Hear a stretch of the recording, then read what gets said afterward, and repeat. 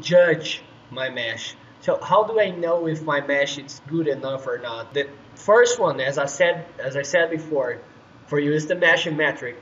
We already uh, we already saw that. We talked about that, and it's where you measure uh, how good or not the shape of your element in the mesh uh, is according to the um, uh, original geometric format of the element. And then you can measure uh, just seeing the average and the standard deviation. The second one I wanted to say you here is the mesh convergence. And the mesh convergence stands for checking the results of the analysis. So in this case, we can um, suppose, for example, we're checking the stresses uh, as answer of the analysis based on the mesh density.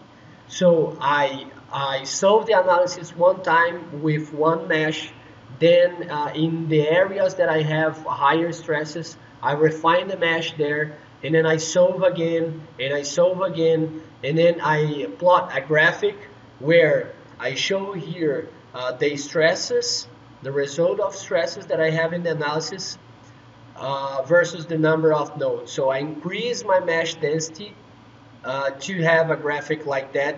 And the mesh convergence is where I have, I converge to a single value. So you can see here, this would be the first iteration, and I get like 100 megapascal here, and then I increase my mesh density, I increase the stresses, the answer to 200, and if you see here, when I um, keep to increase my mesh density, I convert to a, a, value close to 250 and then I can understand in here that my mesh is good enough and that I converge in my mesh. And the third one it's the error plot.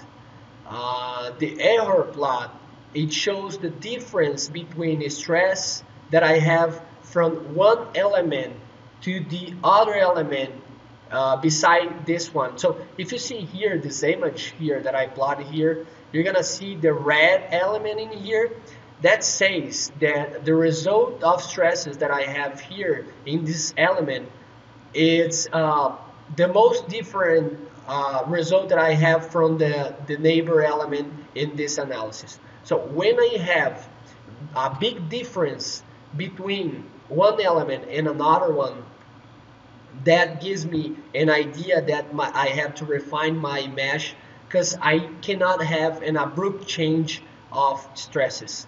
If I come to real life and I check the stresses um, across um, a line, for example, across, uh, uh, across um, a distance from my high my highest stress, I'm gonna ch check that I have a, a linear uh, change of stresses. And when I have an abrupt change of stresses between one element and another one, it says that my element is not giving me accurate results and I had to refine that.